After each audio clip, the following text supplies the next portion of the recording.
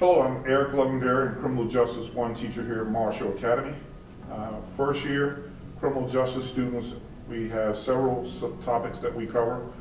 Uh, property crimes, crimes against people, uh, criminal law, civil law, um, talk about gangs, alcohol, tobacco, uh, crime scene investigation, and an introduction to the Virginia courtroom, as well as uh, corrections. Uh, we look at the whole area of uh, criminal justice system, which involves police, courts, and corrections.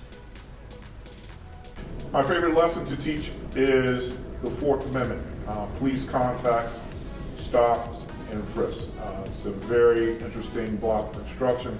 Uh, most of my students love it, basically teaching the students when a police officer can stop them, search their houses, search their cars, what have you, and uh, usually get very good feedback from that block of instruction. Okay. Uh, my name's Sydney, and my favorite thing about Criminal Justice 1 is probably Mr. Levenberry's stories, because they're really cool. My name's Daniela, and my favorite thing is also the stories, but also how easy it is to understand what he teaches. A typical day in my classroom, it's fun. Uh, I let the students be themselves. Uh, however, you're going to take a lot of notes in my class. If you talk to any of my prior students, they'll tell you you have to take notes, and that's because the class is structured just like regular law enforcement. Police officers have to take notes. Attorneys have to take notes, no matter if you're a defense attorney or a prosecutor, you have to take notes. So we take a lot of notes in my class. Would you recommend it to a friend though? Yeah, if they were interested in it again, they have to be like somewhat interested in the idea of at least, or else like it just wouldn't be fun. What about you?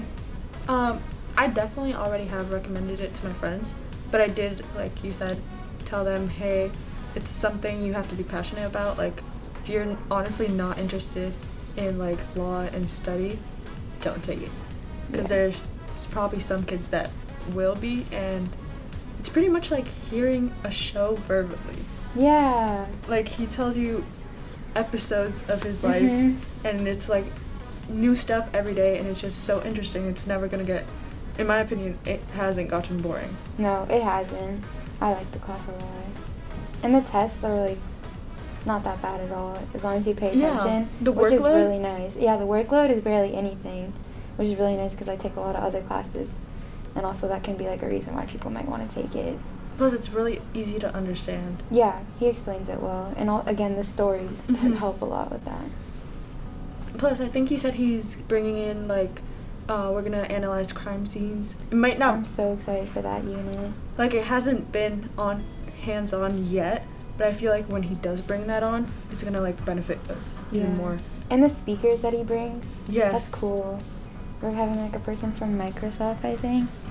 Okay, that's cool. Plus the scholarships and all the things he relates it to, I feel mm-hmm. like it's like so many opportunities that you don't see in other classes. So I think it would greatly benefit anyone who takes the class.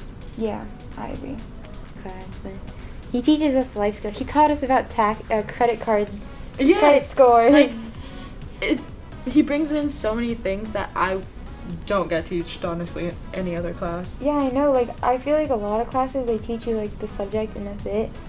But I feel like in his class he like actually teaches stuff that might be useful in the he future. He connects to real life. Yeah, definitely. Like, definitely like like the taxes and credit card score like I mean when you think about it like, oh why are they teaching high schoolers but like a lot of the kids in the class are seniors.